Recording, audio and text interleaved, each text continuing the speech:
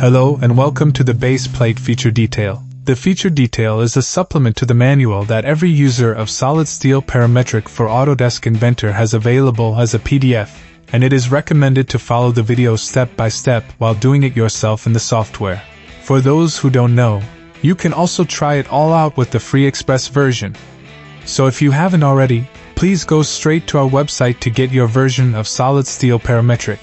Let's start with the base plate. The base plate function can be found here in the drop-down menu under end plates, as it is also something like a special end plate. A click on it opens the base plate dialog, where we can find the right settings for every occasion which we will now look at. For base plates, a single primary selection is usually sufficient because in almost 100% of cases, the plates are placed at the bottom of a support.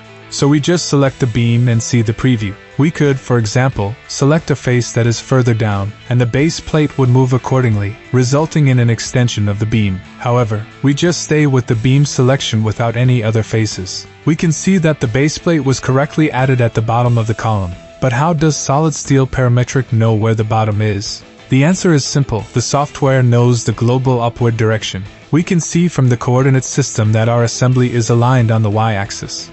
Positive y is at the top, negative y is at the bottom. The top direction is defined in the SolidSteel settings, and this is also set to y by default. So all we need to do when placing base plates is select the support, and the plate is automatically placed at the bottom. We can still switch the beam end if we want to. Let's take a closer look at the base plate. Of course, we can change all the basic settings, such as adjusting the offsets in all directions or changing the thickness of the plate. We can also specify an angle to rotate the base plate. Here above, we could define a distance between the profile and the plate by specifying a gap. And also create a double plate using an option. Double plates are rather rare for base plates, but they do occur sometimes. The offset here above, on the other hand, is often used. By making an entry here, we can move the base plate and thus lengthen the column. If we select the switch offset direction option, we can shorten the column by moving the plate in the other direction. This also works if you enter a negative value for the offset instead. This gives you great flexibility without having to modify the sketch, so it doesn't matter to the designer whether or not the base plate was taken into account when the sketch was created. We can also create a manual angle, for example if we know that the contact point is not horizontal. Okay, let's continue down here with the holes. This is easy to define. For example, a 20 mm hole. Here we need 120 mm for the center with this profile size and here we move 60 mm to the outside. We could also place screws, but this is rather rare with base plates. As the base plates are usually fastened with anchors or similar, then it is sufficient if the holes are present. If you have created your own templates, you can select them here and assign a material to the base plate. So far so good. This would be a simple base plate. However, there is another option for base plates, the shear stud, which is not found on other plates, and we will take a quick look at it. If we enable this option, the dialog becomes larger and we have more input options and the shear stud can be defined specifically.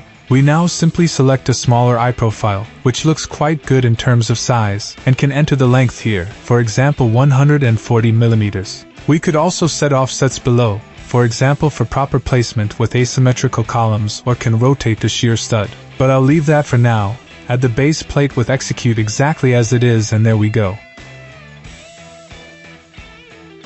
When the base plate was created, a welded assembly was automatically created as well which now includes the beam, the plate, and the shear stud. Okay, the base plate can now be changed just like any other SolidSteel connection. This can be done using the same dialog under the Change tab. If we now select the connection, we see all the parameters as when creating it, can make the change, for example remove the shear stud. Confirm. Done. If we want to remove the entire base plate we use the delete connection function.